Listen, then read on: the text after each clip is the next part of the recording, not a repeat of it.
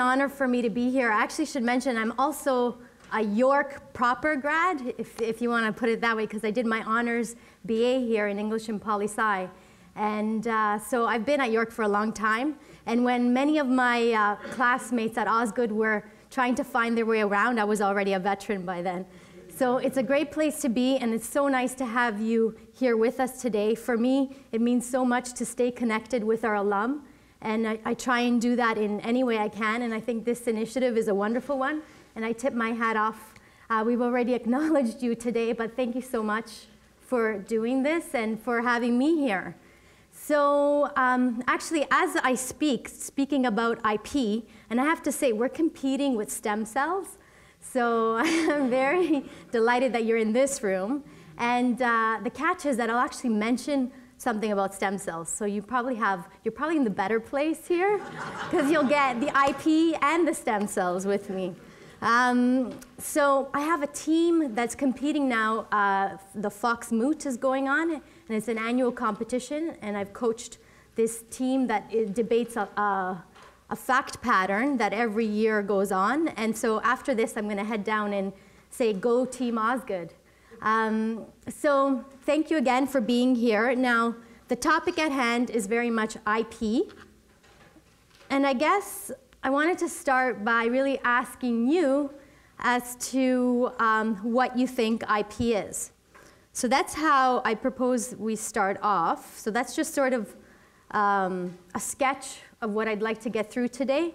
Of course, I encourage you to ask questions along the way. Don't wait for the end because it could be that you don't get a point and then by the, the time, it's sort of a, a domino effect perhaps. So just feel free to interrupt, put up your hand, and we can chat about it. It's meant to be also a conversation with this circle. Um, so I'd like to first start off, what is IP?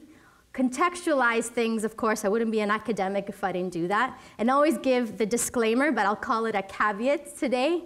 And provide you with examples, so tangible examples as to how we see IP applied in our daily lives. And then, of course, we have to go towards solutions.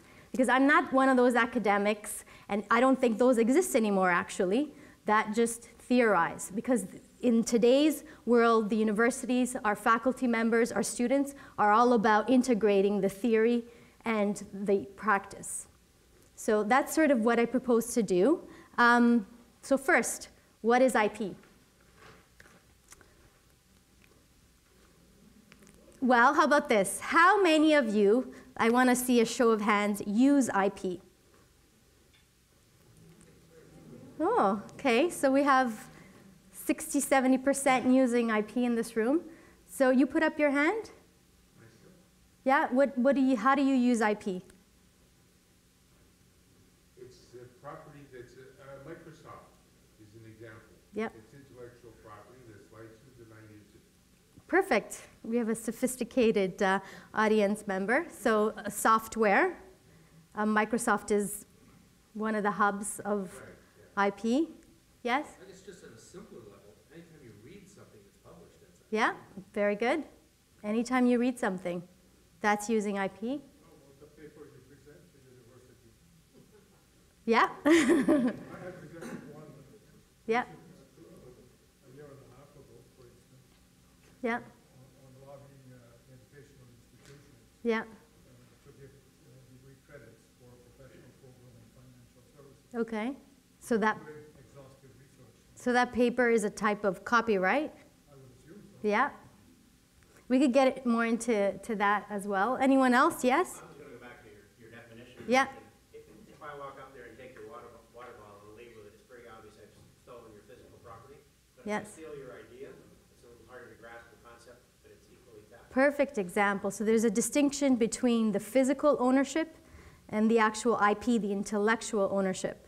So an, a good example, we've brought up books. Uh, a book, I mean the uh, very um, copy of the book, if you burn that book, the IP still subsists in that book. So it's that the expression of the idea, that's the copyright. So we've talked about using IP. What about owning IP? How many of you are owners of IP? Okay, one at the back, a little less. So maybe 10, 15%? Okay, so at the back, you put up your hand. What do you own? You publish books. Perfect. So we have an author in the room, yes? It's, it's about like the Far East hacking into the American uh, corporates and getting all of their research information, and there's no way to get back at them. Okay. So the research information in terms of, but how would you own that in terms? That's the problem that they've got in the States right now. Okay. Big companies cannot protect their information from Yes. being hacked into. So, and if you bring it to your own personal life, how would, Anything I put on my computer, anybody can get at. okay. So we talk about ownership of the IP. Someone, yes, at the back? Uh, I develop systems, but I do not uh, register. It's still um, intellectual property. If you didn't register, what, what is it that you're, what, what? Systems development, good question. So there, there's, we start to see a distinction f- with, between the different types of IP. So copyright, you don't need to do anything, it's automatic. So you would have protection. Yes? I I deal with, with it on a daily basis Yeah. in my job. I work in a, uh, a newsroom, so I'm dealing with video, I'm producing, uh, stories all the time. So we have intellectual property Yeah. and everything else, so other places cannot use it without giving us credit.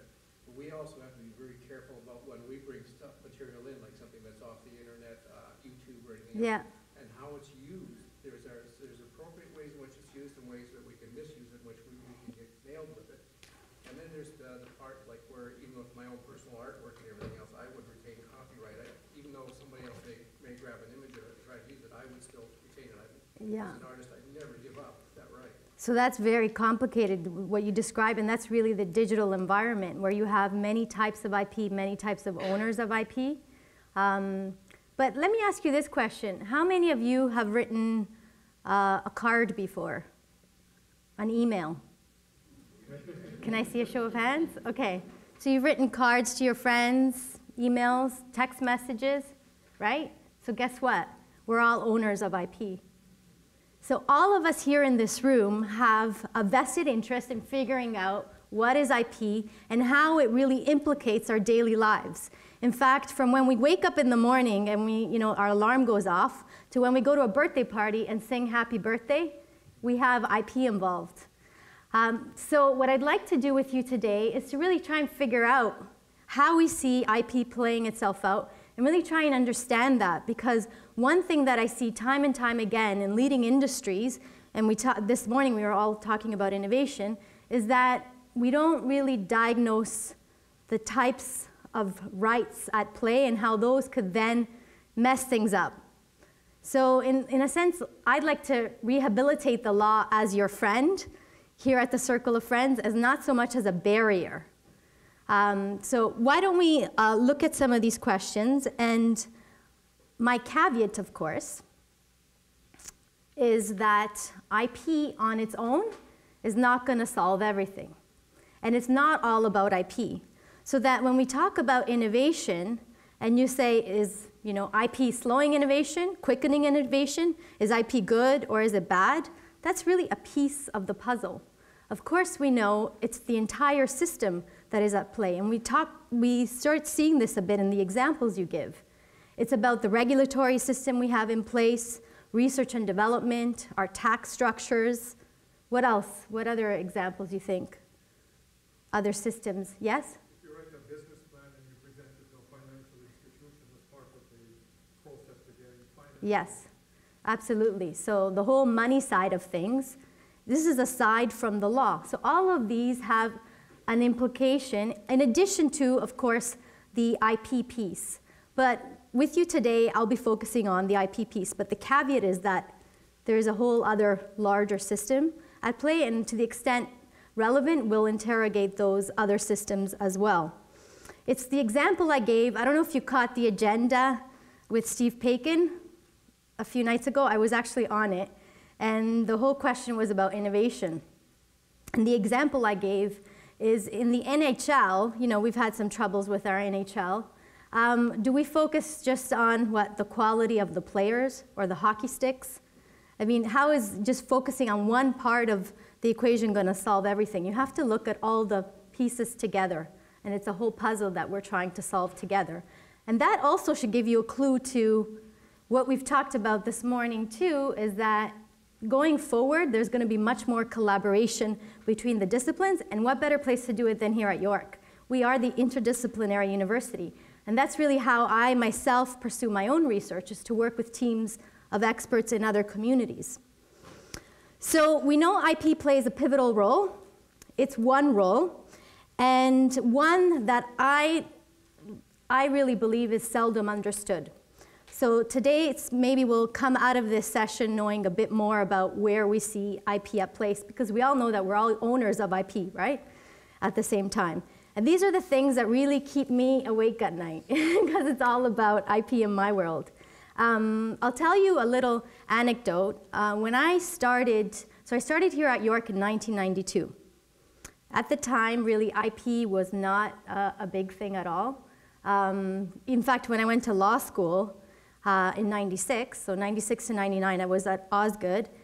And there, I remember that um, there weren't many course offerings either. In fact, there was one course that was called Intellectual Property. And it was at the time that my professor decided, and he's a smart guy, his name is David Vaver, and he actually then left um, Osgoode, went to Oxford, headed that department in IP, and we scooped him back here. So he's now back with us where he should be. And so it was as in his wisdom to really intuit that this is a growing area. So what he decided to do was to split the IP course in three. And these are the three sister areas. So when we talk about IP, think about three sisters. You have copyright, patents, and trademarks. So copyright, those are the expressions of our ideas. And earlier I mentioned you don't have to do anything to have copyright protection. So when you write that card, when you put that email together, you have copyright over that. Now, patents protect inventions. Patents are a bit more complex, and I'll touch a bit more on that, but they protect also the expression in many ways of that invention. So the test is new, useful, and not obvious. I'm not going to drill down to that detail, but if you're interested, we could talk more about that even offline. And what is trademark law? Trademark law is really the branding of those expressions and of those inventions. That's basically it. And then there are related areas. Yes? Isn't there the, the fourth sister of trade secrets? Yes. So you could say it's a fourth sister, a stepsister, or a big sister. Uh, trade secret is closely allied to patents. But the difference is with trade secrets is that while patents is all about the disclosure, so to get a patent you have to disclose what it is that you invented. Trade secret is the opposite. You better shh, not say a word. And you have to have all the systems in place. You have to have a safe and all these real old school things. If you look at the case law, it's all about locking it up and making sure no one finds out what it is. And that's also subject to protection. And the difference with trade secrets is that you don't have to do anything except for really be secretive, and you get protection forever. So it's in perpetuity. So patents is 20 years right now. It started at 14 years, it's crept up a bit. So copyright life plus 50 years. I mean, we don't have to go to this level of detail, but this is like, these are the things that you would take, if you were in one of my classes, we would start okay, uh, you know, building up. But essentially, there are differences between them. Um, the three main ones, and then you have closely affiliated ones, like trade secrets and patents are very much together. So, um, what, going back to the courses, you, have, you had the three courses at the time. For me, I, I realized that once I took one of Professor Vaver's classes here at Osgoode, I had, was infected. I said, This is the area I want to pursue. It was one of his copyright classes. I had taken an English literature degree, and I love the fine arts and writing and reading books. So I thought the perfect marriage is really law plus literature together equals copyright. And then I always had a curious mind. I loved my biology class, and uh, I did a lot of research actually. Um, on, um, at the time, I wrote a paper on new reproductive technologies, and I really saw that my curiosity for science was also matched by this field of IP. So it just sort of made sense to gravitate towards this area. But of course, at the time, this is still, we're still back in, what, 1996? And I was already starting to think about, okay, what am I going to do after when I get out of here? Um, and I would say, my friends and family would ask me, so what are you studying? What do you want to do? I'd say IP. And they would be like, what? What is that? So there was lack of awareness. Some thought it was internet protocols that I was interested in. Um, but of course, that's changed a lot. In fact, um, even at the time, then when I started practicing in a large Bay Street firm, I wanted to do IP, and there wasn't a lot of it still. I mean, I would see it sort of on the fringes. I would work on an M&A deal, so mergers and acquisitions, and there'd be some clauses there that would talk about the movement of the goods and that, but it wasn't really doing IP for me. Now, of course, you have law firms with departments that have IP departments, and in fact, they're supporting clients that their really reason of being is their IP. So what are some examples? We talked to, we mentioned Microsoft. This was the year of the Viagra case, right? Big case. That was all over fighting about the IP. Uh, Facebook. So a lot of my students are on Facebook, and there's all different, the spread of social media there. There are different IP implications. So it's everywhere. In some ways, IP has become ubiquitous, but yet there's still this lack of real understanding about it. And that's why I think we need to start having a conversation about it. So the conversation should not be is IP good or bad, right? It shouldn't be, you know, all about the numbers. We'll leave those, you know, to more the experts to look about the, the accounting over it, the economics over it.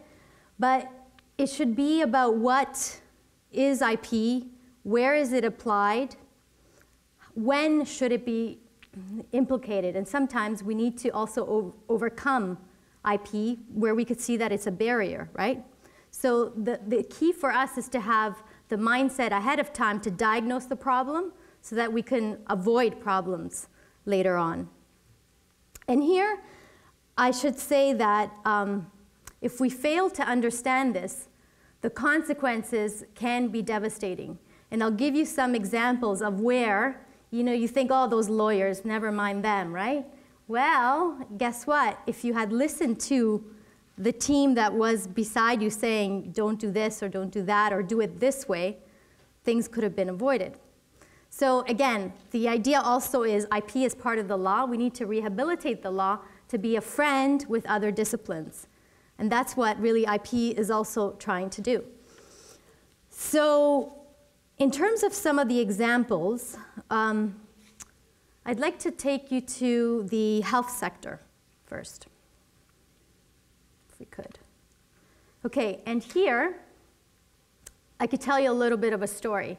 So I was down in our great Discovery District um, here in Toronto, and I met with one of our leading scientists in one of our leading um, hospitals. And he, had, he told me that in a few days, he was to sign this deal close to half a million dollars. And I said, Well, what is it about?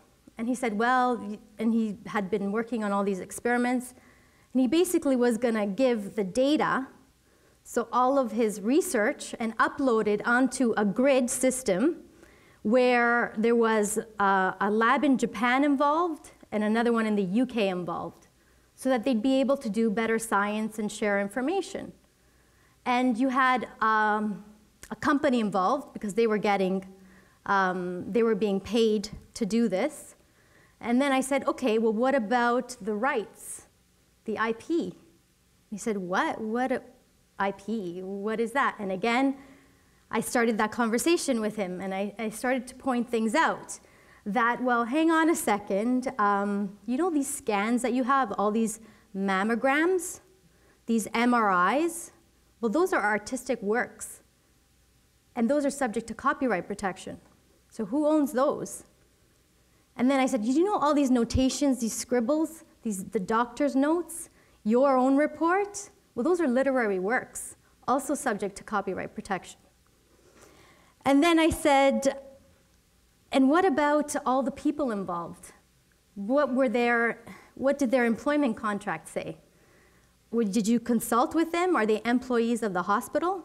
Because we know that if you're an employee, unless there's an agreement stating otherwise, you don't own the IP. But if you were a consultant, then the law says that you should own the IP. So it starts, see, it's getting very messy. And then I said, You're putting it onto a grid. There's other countries involved. What about asking all these questions there? Have they looked at this? And then when you put them all together in this grid, who owns all that data and who has access to it? I had no answers. He had no answers. Um, so, uh, problem. Because a few years earlier, I had actually studied this in the UK, where I went to uh, do my graduate work at Oxford. And there, the example is E-diamond. So E-diamond is not about the diamonds that if you were Dean Kaczynski's talk, you would have seen those diamonds up there. Um, it actually stands for, um, well, it's a database for mammogram data. So the actual acronym is Digital Mammography National Database. And here, this was a project that started in 2002, and that's kind of what it looks like. So that's sort of trying to simplify it. So eDiamond was this initiative uh, out of the University of Oxford. In green, you see the participating universities, and on the out, outer edges, you have the clinics that were involved, so the hospitals. And then, of course, you had the software companies that were putting this whole system together. So the idea was to have uh, a repository which would help cure, treat cancer, breast cancer for women, and to amass data from all of these hospitals, have it uploaded onto this grid, have the universities involved and a whole bunch of students involved to also translate some of this information, and it would then be an e-diamond. Well, the vision was, uh, was a good one. Um, hang on. Okay, so the vision was a good one in that, well, the objectives are lofty ones, right? I mean, treating breast cancer and doing this by collaboration was really the way to go. But what we decided to do was to really look at, we had the IP question. So we, we got together with some computer scientists, um, some anthropologists, it was an interdisciplinary team, and we studied what had actually happened, um, how they protected their rights. And so this project was funded to the tune of about 5 million uh, pounds. And this was in 2002. And there was a whole bunch of uh, press release. Even at the time, um, the Prime Minister Blair had said something about this, that this is going to really revolutionize science and using the grid technology is going to help better diagnose problems, so on and so on. So all of these objectives uh, were going to be met. So our team went in and we basically had to do a retrospective study.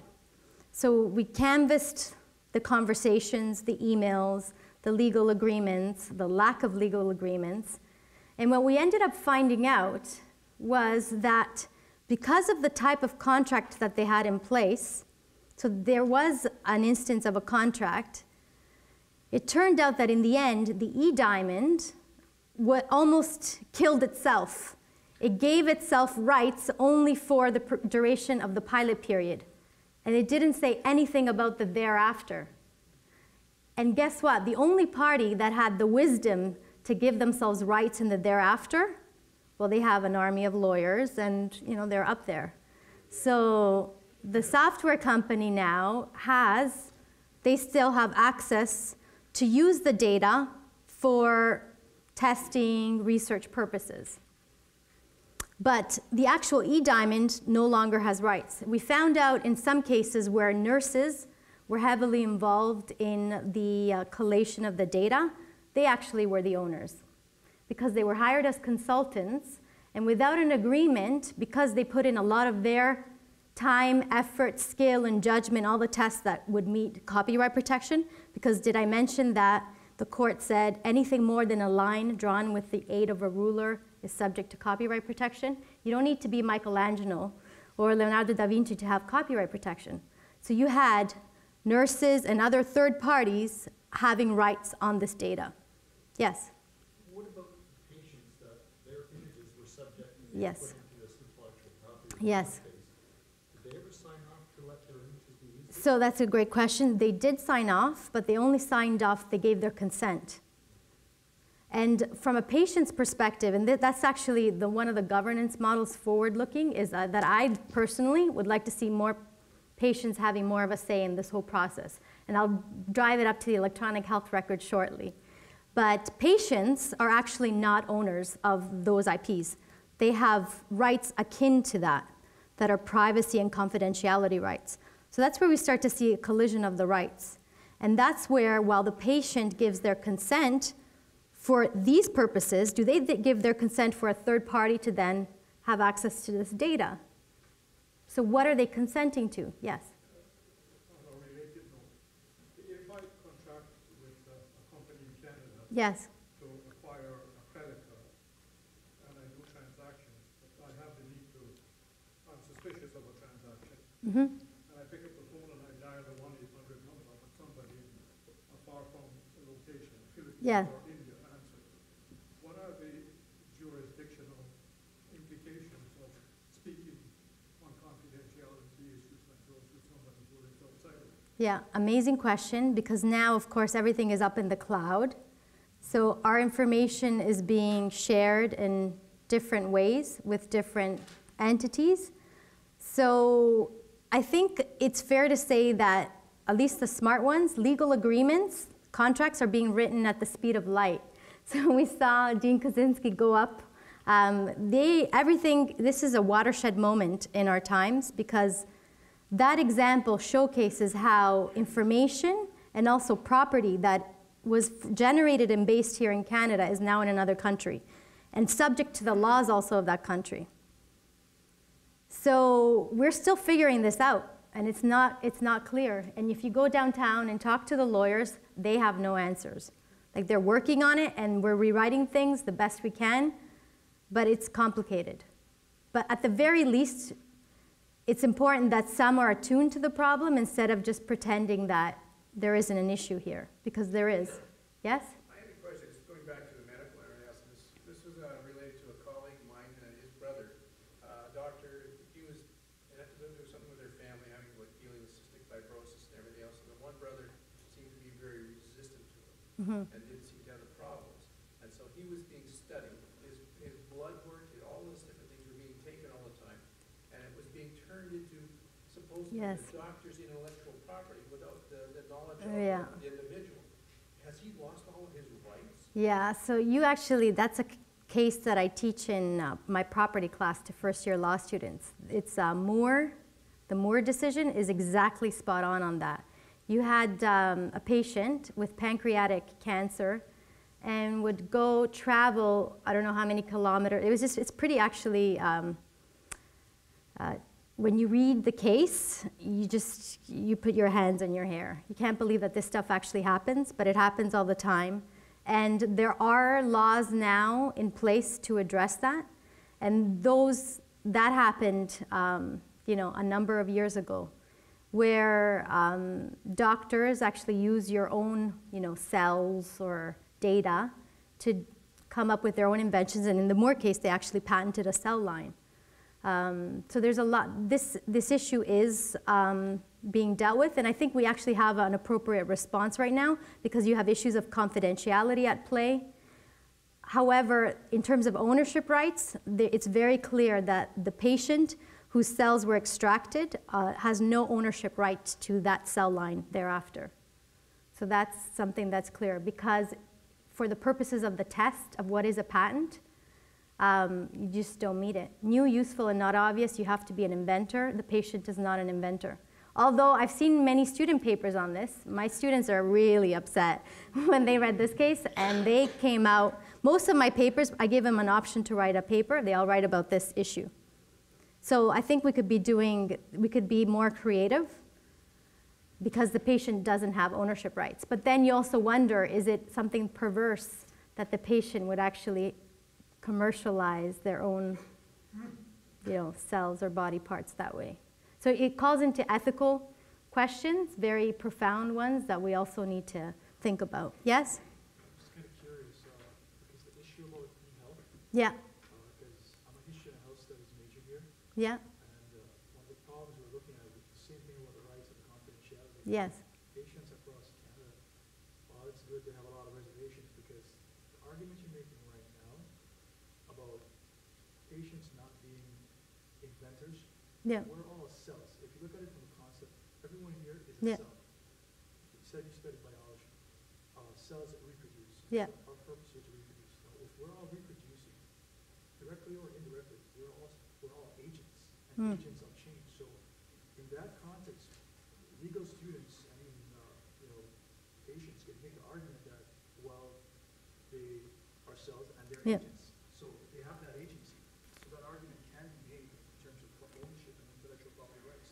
yeah, How those laws were revised yeah. in Supreme Court of Canada and also regionally and uh, across the country. I- this is Yeah, no, no, I, it's, it's a valid one. There, you know, and even if you look at the law, I mean, we could get more into this, but there's cer- certain doctrines like constructive trust where you could find, you know, you could, you could be creative and make the arguments, but so far those arguments have not worked. And I could even, I'll draw your attention, I could provide you with some links to reading further on this. But so far it's pretty clear in the law, the way the law is being interpreted, is that you are not owners of, you're physical owners, of course, of your cells and your body parts, but you're not the intellectual property owners if anything happens to those body parts. Because you have to be an inventor. Yeah? You talked about patient consent. Mm-hmm. Um, What about, um, I'll- I'll put in quotes, but informed consent? So if I go for an angiogram, um, I'm under a fair bit of pressure to sign this form right now Yeah. for for the scheduled angiogram. and I probably don't have the same amount of time or ability to analyze that as it would, let's say, a cell phone contract or something else. Mm-hmm. So you could argue that that consent is really not as informed as it would be in a typical contract. Yeah, so there's all different types of consent. And I mean, consent also comes up in criminal law uh, vitiated consent and implied consent. Uh, so you could make that argument. Uh, then, the, of course, the other side is you know, you look at the bigger picture and you'll have researchers advance the argument that we need this information or we need access to this data to advance science. So it's, it's actually quite, and it's not purely a legal question in the end, it also becomes an ethical one and uh, constitutional one, so there's lots of dimensions to that. But we see these, um, again, this affects our daily lives. You go to the doctor, and you even have time retrieving, trouble retrieving your own health record. I mean, I can't even, I had to, I asked my doctor for my health record. She wanted $200 for 20 pages, right? So, and then, you know, and then I said, you really don't want to argue with me. so we, but not all of us individually have, you know, that, I guess, volition to even have an argument with your family doctor, right? So, but not that I do, frankly. Yes? With reference to whether or not you can have an argument, I'm Yeah. an author, and I get copyright information all the time. It's too complex for me to understand. Yeah. It's too costly for me, it's not cost efficient for me to go to a lawyer. Yeah. One example, I'm not sure I understand it totally, but they want us to give up our copyright Yeah. for information that's used in universities in those books that the professors put together. The course packs. Yes, yes. And, you know, it bothers me to think that my work would be used in that way on the one hand. But on the other hand, I think, I need my time to write. Yeah. I can't, you know, be arguing issues like this. And my personal feeling is until somebody, God forbid, takes one of my books and puts their name on it and sells it, Yeah. I'm not even gonna deal with this issue. Yeah. So I'm glad you raised that. That's going to be uh, an upcoming example. We'll talk more about publishing, and I've actually, there's right here, I've written a book on that issue. so there's a lot to say on it. Yeah. where instead of following the law, Mhm. my sister and I had a company a long time ago, uh, making, you know, herbal shampoos and stuff, and we never had, we chose a Mhm. and we never bothered to trademark it. Because again, with the, we, we didn't have a lot of money, Right. through all of the hassle and whatnot. So it's protection on the name. We didn't protect the name.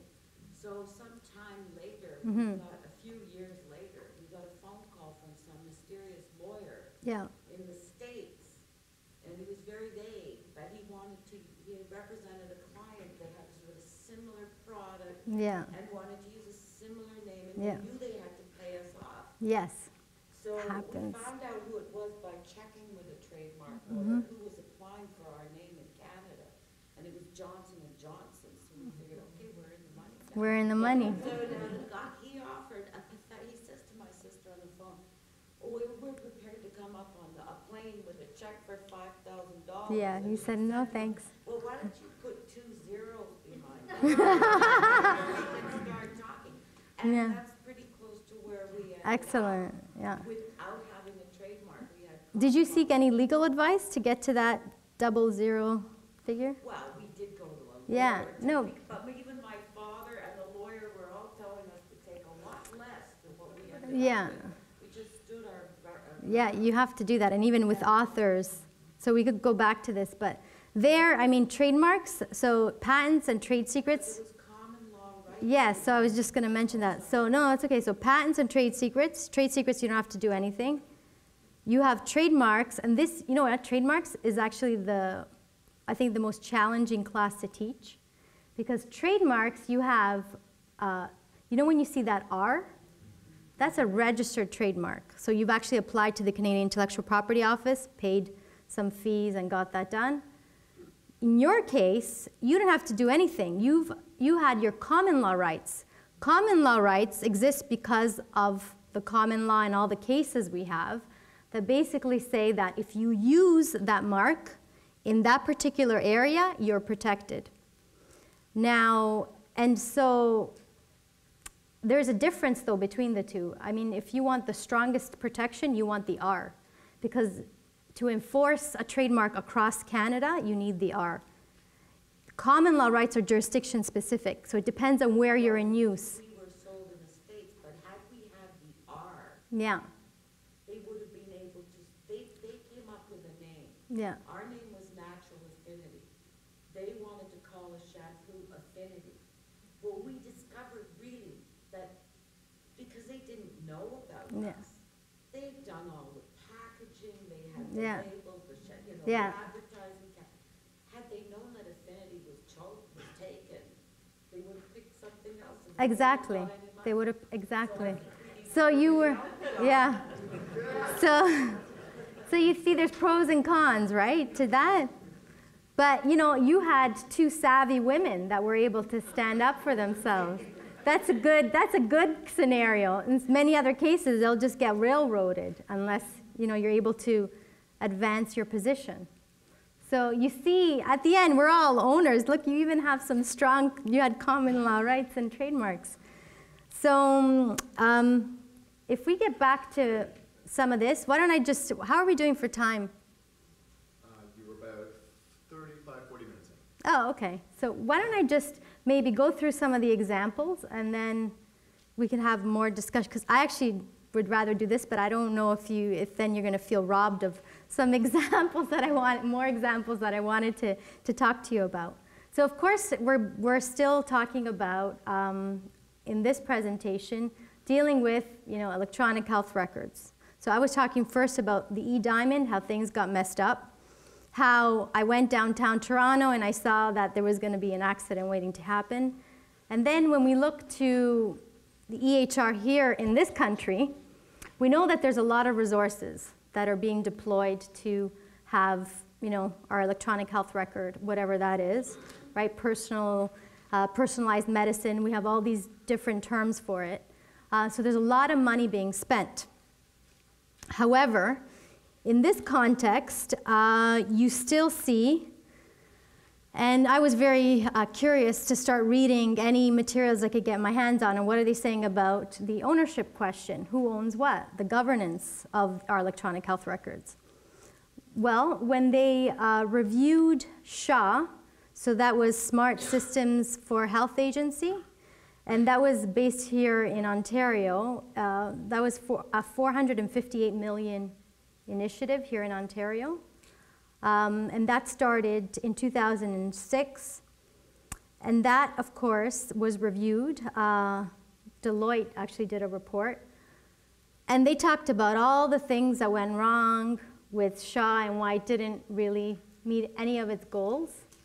Not once did even this independent investigation on SHA mention intellectual property or that they hadn't looked. So they had a list of all the things they never did. They didn't do this, they didn't do that.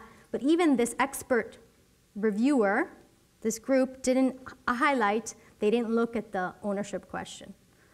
So I thought, oh no, they're not doing it either. I go to conferences, they're talking about the EHR, and there's never a panel, there's never a mention of IP. Oftentimes I want to be polite and I won't, you know, put up my hand in the audience because I, I, have to name and shame, and I, sometimes I say, fine, I'll just talk to the speaker after, he's the minister, you know? Guess, did you, are you looking at this question? And they'll give you some roundabout answer. So, um, you know, so I see this happening a lot, and I'm worried. I'm worried because it's our tax-paying dollars at stake, one, and also it's really our future. More than that, it's really the advancement of, of uh, we're trying to do advanced science, research, our health systems, and we want to do it in, in a good way. So that, you know, SHA folded, then you know, had the minister resign over this. I mean, we, we've read all about this in the press. Um, they did another report, you know, 800 million were spent after, you know, poor coordination between the dissolved SHA and then what became eHealth Ontario, because then SHA was folded into eHealth Ontario. So how many mil, like you, I'm losing track of the millions of dollars that we're spending on this. Um, so there is a, a, bit of a happy story. Uh, York actually has, uh, one of our professors has now a grant to work on this. And I'm hopeful that, you know, his solutions are gonna be much more than, you know, they've been able to do in how many years? Because now the promise is what? Uh, 2015, we're gonna have, that's what the latest is. So eHealth Ontario's new three-year strategic plan de-emphasizes goal of delivering on uh, the EHR by 2015, and they're going to just be focusing on diabetes. Um, I don't know that, again, the questions are complex, but when you look at the governance structure, there is no excuse why there shouldn't be some type of vision or even a, a mission statement. And we, we actually don't have that in place. Um, so my, my curiosity is where this is really going to end up for us here in Ontario and in Canada. When we're not looking at the governance mechanism. And IP is a slice of it, of course. There's privacy, confidentiality. We've talked about all those. But we need to look at these questions. We can't just, okay, here, we got the money, let's go.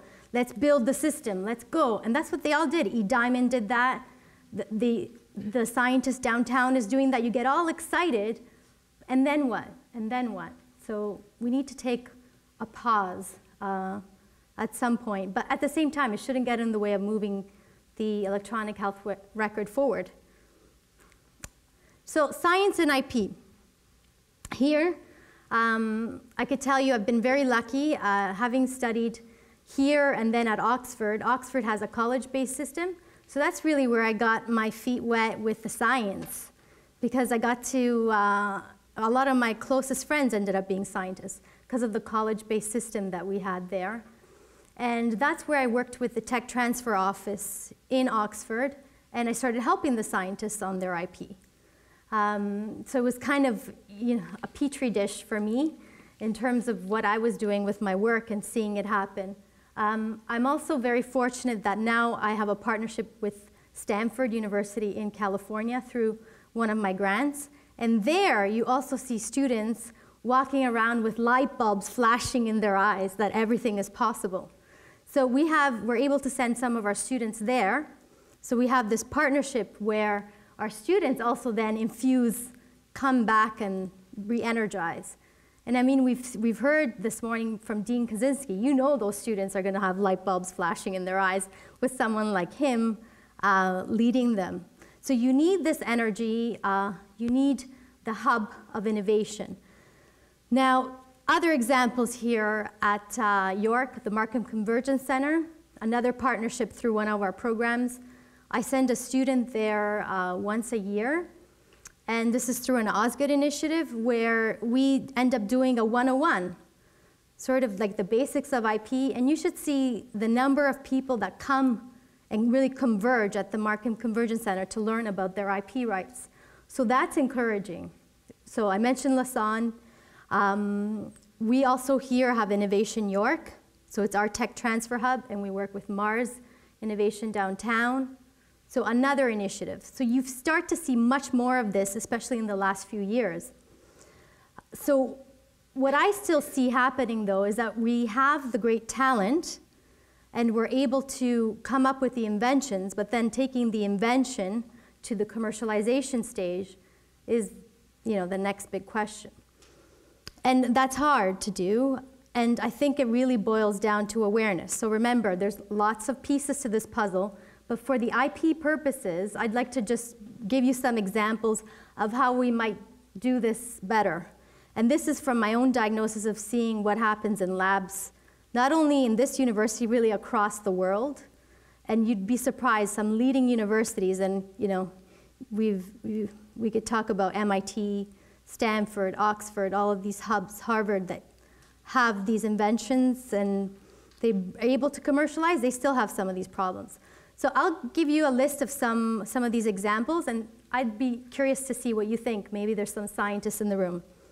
So one, I think from an IP perspective, when you look at what happens in universities, and especially in labs, the notebook, not the movie, the notebook is key for an, a scientist, so any researcher.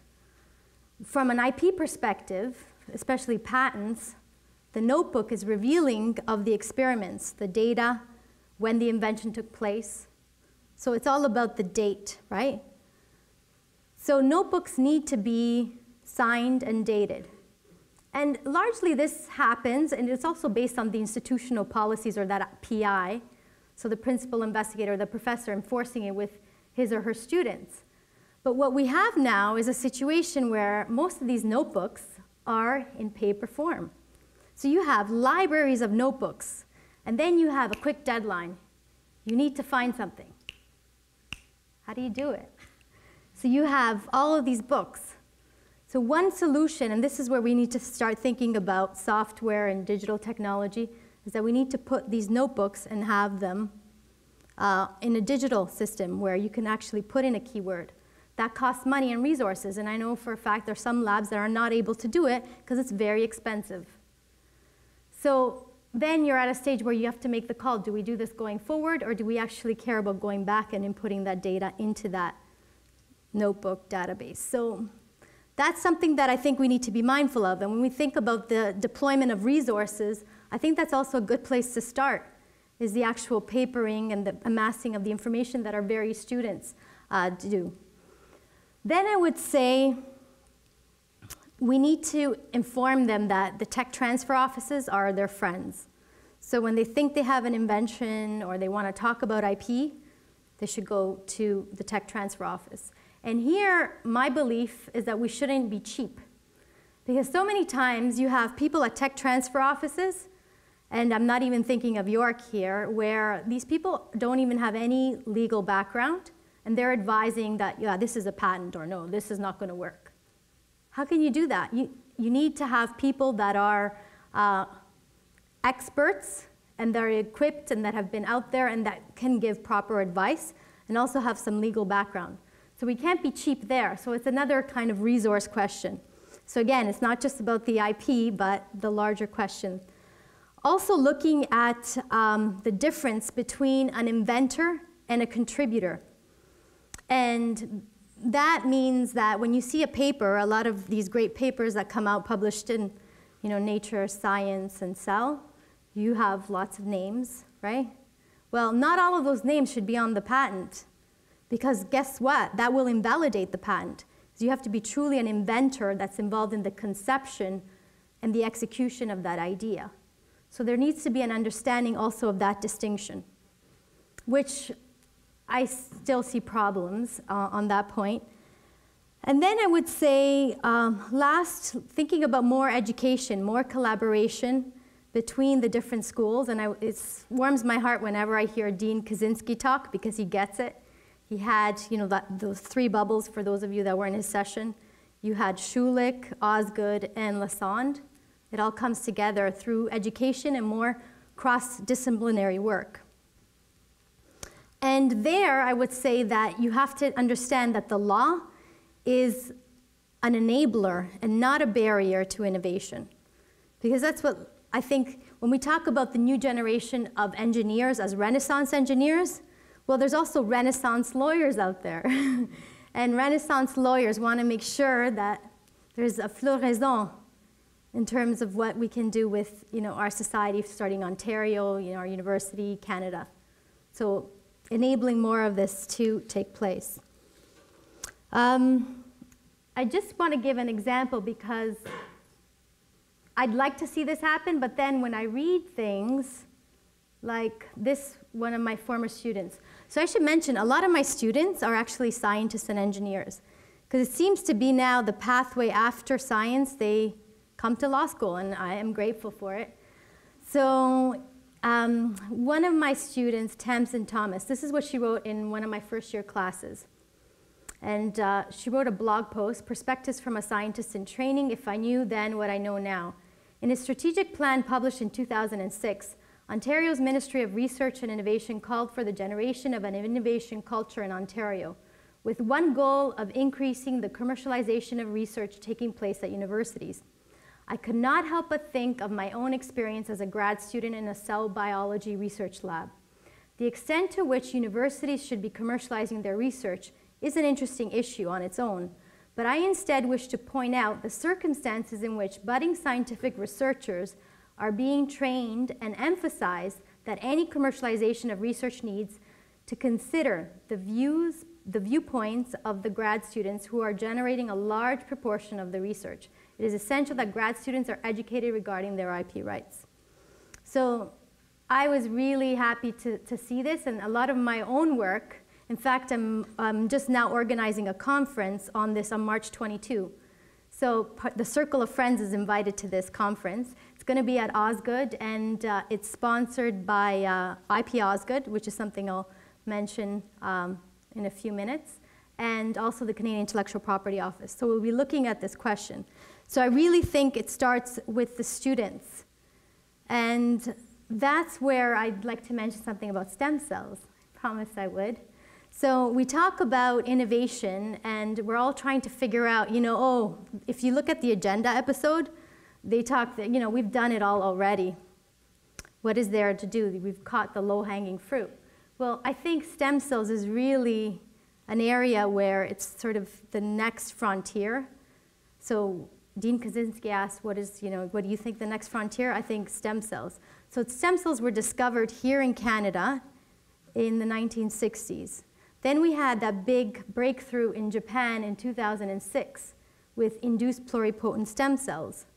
And those was, that study, what that breakthrough really uh, said was that you could reprogram, they took skin cells, reprogram them to go back to a stem cell state, which then could be used, you could have a heart cell becoming a heart, liver cell becoming a liver, and so on. So you could see that there's some great potential here and application to do some great things. So, and this should be something that we keep here in Canada. I mean, we, we were the genesis of this, and we could keep that going. Now, we have to understand the relevance of IP in that, because as we don't want what happened with insulin to happen with stem cells, because although we had insulin here in Canada, then it was commercialized in the US. So patents, IP, the whole system is part of it. And we need to be able to intuit the industry and work together to make it happen for us here. I'll give you just a quick example of the creative industries, the publishing industry. Just in a nutshell, what you have here is that new works are being recycled in new media. So, um, sorry, old works are being recycled in new media. So whatever you had in print is now going, you know, it's online, or many things are being born digital. And this problem is not new. So if you think back to even the film industry, in the 1920s, you had silent picture film. When suddenly the sound component, the sound technology was added in, they became talkies. So you had a, really a surge of litigation around the issue. So if you look back to time, even from the onset of the printing press, every time you have a new technology, there are renewed ambiguities and litigation and issues on who owns what rights. So, and authors are in the center of it all. And I explored a problem where it's gone viral, literally worldwide. And we've had our own Supreme Court of Canada case here in Canada, the Robertson case, where Robertson, Heather Robertson, sued the Globe and Mail for having taken her works without her permission, consent, notice, or anything, and put them online. Again, this goes back to awareness. The authors, like, they don't find out years later when this happens and then they have to sue and they don't have the deep pockets that a lot of the companies we've talked about do. Authors are disenfranchised, especially freelancers, and we know that they are on the rise. OECD statistics point to more and more uh, the nature of future employment is really going to be based on freelancing because no one wants to put someone on a payroll and have to pay for everything, the benefits associated with it. So it's a problem that's not going away. We know that inventions are going to keep happening, so we need to have a system in place to figure this out, and currently I have to say that we don't. So this is another area that, you know, keeps me up at night, because I care about the authors. We're all authors, too. And so more work needs to be done. The security, cybersecurity industry, well, here, basically it's the same problem we saw with electronic health records. You see it with all of our data that's you know, being used by different governments and security agencies. And there, I have to tell you, I go to these conferences, they don't want to hear about the IP piece of the puzzle. So again, you have a grid computing technology and who owns what, what can be used for what. So why don't we move towards solutions? And here, I'd like to say that um, maybe if we could just have a recap. I think one thing that we haven't come across that I'd like to see more is vision in the governance, more leadership, and capable laws. Again, the law is a piece of the equation. We need to have more crosstalk between the disciplines. We're starting to see this. Well, York is really the hub of that interdisciplinary work. But we also need to work more with the industry, the business community, because they're also part of the problem and the solution. So we need to work together and can't be afraid of that. We need smarter collaboration, and to do this, we need to sit down and really hammer out the vision and the details. And a lot of times, you don't even need legal change. You could actually have some guidelines, the soft law in place. We can learn from other countries. And I think I'm, I love the university. This is the most privileged position for me to be in a university because it keeps you young always, because you're always pushing your your mind and your brain to think outside of the box. And I think really the university is the hope for the future. And we need to reclaim our universities as that hub um, for our country, that hub of activity. And I've done that with IP Osgoode. So I, you know, I don't like to just talk about things. I like to actually do things. So this is a website that uh, I built, and it's actually based on a center um, of, uh, of IP and technology law. I'll actually take you to the dynamic version. So you see here? So this is how you could keep in touch too. See this, subscribe to the IPIgram. And there, we will send you a newsletter once a week where you will have the latest information on all of our conferences, anything we're doing. And you'll see the Fox Mood I mentioned, that's going on as we speak. Um, you see my lectures there too, advertised. Um, so everything that we're, that's going on in IP in the community here in uh, York and around the world is actually here. You see here, I have contacts, well, less fortunate from when I was studying in the UK. They send me information, so we're the first to have it here. And you find out um, all the latest that's going on. We actually won a weblog award. So these blogs, most of them are written by our students. I don't believe in having, you know, the professors don't really know it all. We're still, as you can tell, I'm trying to figure it out still, but I want to arm my students with the resources and hone their professional online presence so that they're published authors. So I recruit students to write and I showcase their opinions, which are evidence-based. And not, it's not just about the professor, and we won an award for this. So we also have an exchange program, the placements I talked about. I send students to Stanford. Um, we're working on a placement to IBM.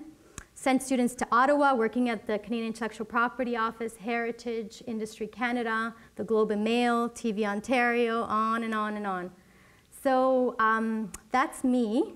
I will, uh, I'll leave you to ensure that you put your name there because I want you to either put IP Osgoode as your homepage, maybe, or subscribe to the IPilogue. And um, there's the actual, the date of the conference, March 22. And that's really going to be centering on the student. So it's really, it all at the end of the day comes down to enhancing the learning opportunities and the hope in our students. So I'll end with that, and I thank you very much for your attention and your amazing questions.